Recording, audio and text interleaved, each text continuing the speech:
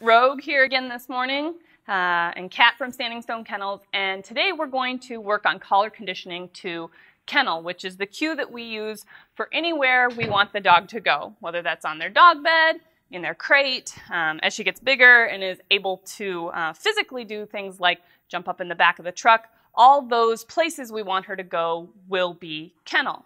Uh, in a previous video, we did a clicker training session using positive reinforcement to clicker train her to go on her dog bed. And so we're going to revisit that here for you in just a minute, as well as um, Rogue, she's in her crate now. she spends a lot of time um, going in her crate in between play sessions and when we're working, uh, she has to go in her crate to be out of the way.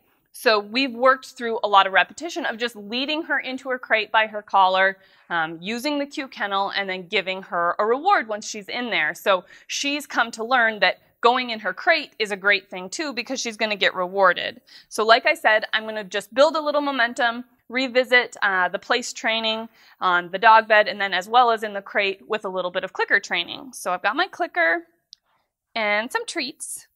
This will help build some momentum as well as keep Rogue's focus, which she's already super focused. So, kennel. Good. We'll do a few repetitions on her dog bed. Okay. Okay. Kennel. Good. Okay. Kennel. So this is a half on. She's not all the way on. I want her all the way on her bed. So I'm not going to mark that until she's all the way there. Okay.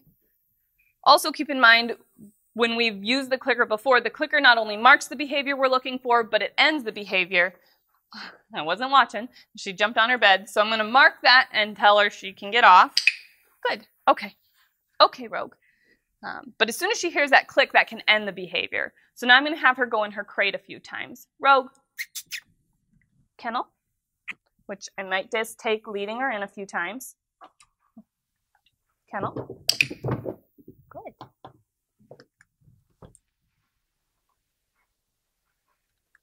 Rogue, kennel. Kennel.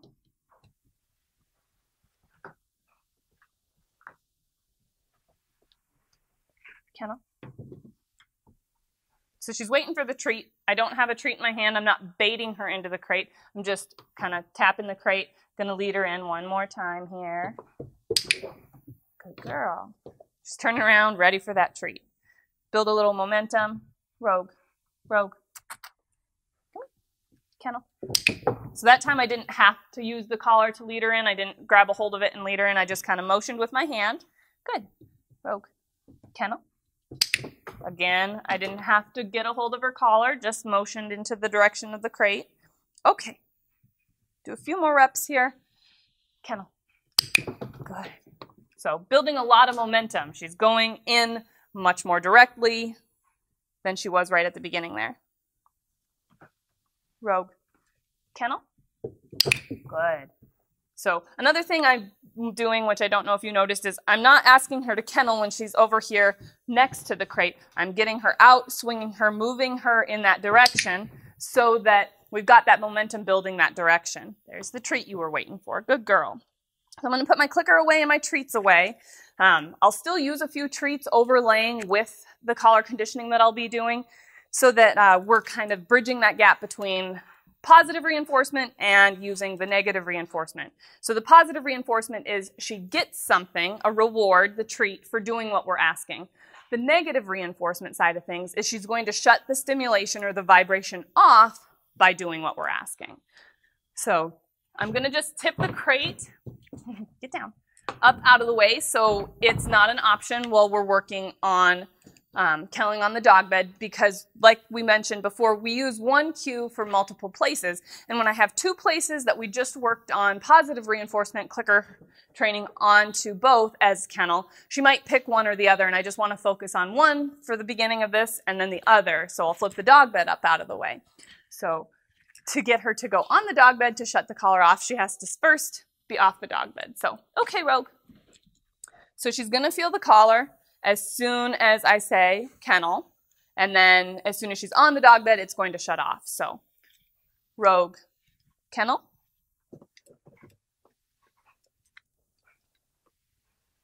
Okay. Kennel. Good. She's still getting a few treats here too. Again, this is a pretty low distraction environment, so we're just using vibrate, especially at the beginning of this collar conditioning process. Kennel. Whoops, I dropped your treat. There you go. Okay. Kennel. So she's feeling vibrate on the bed. Good girl. As you can see too with this collar conditioning, um, I'm able to send her to the dog bed from a little bit farther away than I was able to when I was just using the positive reinforcement, which um, is something that we're looking uh, to build off of is that I could send her to a place from farther and farther, as well as once she's on that place, help keep her there. Um, so if she would try and step off the dog bed, I could use the vibrate to say, hey, no, you're supposed to still stay there. Good, okay. Okay. Kennel? Good.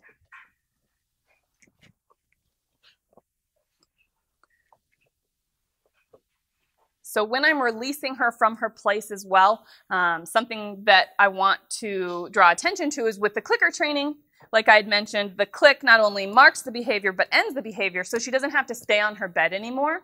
But while we're doing the collar conditioning to place, um, once she's on that place, she needs to stay there until released with okay. And when we release a dog from our dog beds or our crates or anything like that, we always tap them on the head, okay, okay, Rogue, and kind of lead them off.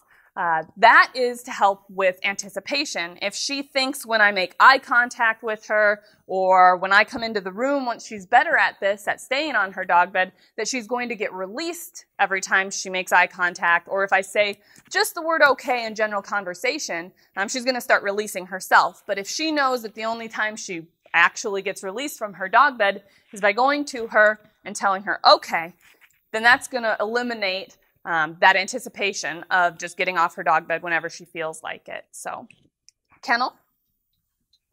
So she's feeling vibrate. She's not on her bed, so I'm going to just help with my body language to get her back over to that bed a little bit more. Give her another treat. Okay. Kennel. So she's not all the way on the bed again. She's kind of doing the half on, half off. So the vibrate didn't shut off until she got all the way over onto her bed. Good. Good girl. She can get attention while she's on the bed, but I didn't release her, so she feels vibrate until she's back on. Uh, uh, uh. Just give her a little bit of attention. Rogue. So she's still feeling vibrate because I haven't released her. Okay. So what I'm noticing is when I come over to give her attention while she's on her bed, she feels like she should be released. So I just need to show her that being petted on isn't the way she's being released. Being released, ah, ah rogue, so she feels vibrate. Being released, ah, ah.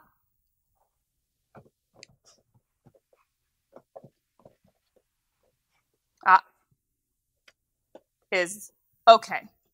That is her release. So we'll do a few more reps. Kennel. Good. She's not getting a treat these times. She's just feeling the collar. A lot of focus still, though, which is something we like to see. Okay. We'll do one more here, and then we'll switch to the crate. Kennel? Good. Good. Okay. Okay. So I'm going to flip her dog bed up out of the way. So then we can use the crate, and I'm going to flip that back down. She's like going right back in it. So the fact that she's really comfortable going in and out of her crate is really important. If it's a battle to fight her to get into the crate, that means she's not really been um, conditioned to going in there in a positive way yet, and she's not ready for collar conditioning to her crate. But the next step will be still using some treats again and then she's going to feel vibrate until she's all the way in that crate. And I might have to lead her in, um, but we'll show you what that looks like. So I haven't used the collar yet. Haven't used the cue. She just went in.